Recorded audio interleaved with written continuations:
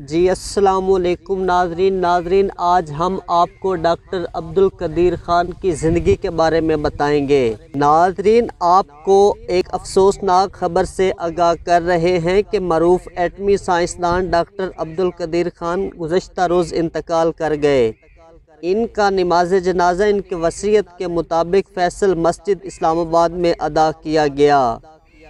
अगर आप हमारे YouTube चैनल पे नए हैं तो प्लीज़ हमारे YouTube चैनल को सब्सक्राइब कर दें और घंटे के बेल आइकन को ज़रूर प्रेस कर दें, ताकि आने वाली हर वीडियो आप तक बर वक्त पहुँच सके।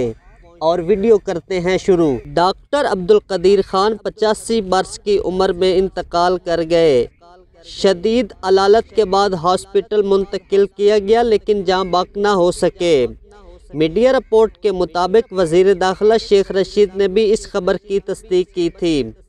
मोसने पाकिस्तान डॉक्टर अब्दुल कदीर खान 1936 में हिंदुस्तान के शहर भोपाल में पैदा हुए। बाद में पाकिस्तान मुंतकिल हो गए।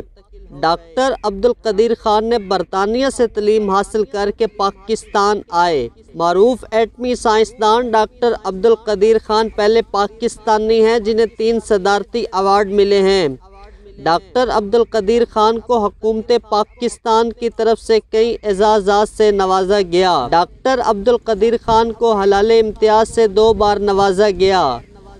डॉक्टर अब्दुल कदीर खान को एटमी ताकत बनाने वाले अब हम में नहीं रहे। हर एक इंसान ने एक ना एक दिन जाना है। डॉक्टर अब्दुल कदीर खान मुल्क की दिफा में अहम किरदार अदा किया। डॉक्टर अब्दुल कदीर ख़ान की मुल्क के लिए खिदमत हमेशा याद रखी जाएँगी। आपको ये हमारी वीडियो कैसी लगी? उम्मीद है कि आपको पसंद आई होगी। अगर पसंद आई हो तो इसको लाइक कर दें, शेयर कर दें और अपनी राय कमेंट सेक्शन में ज़रूर बताइएगा। मिलते हैं एक नई वीडियो के साथ। तब तक के लिए अल्लाह हाफिज़।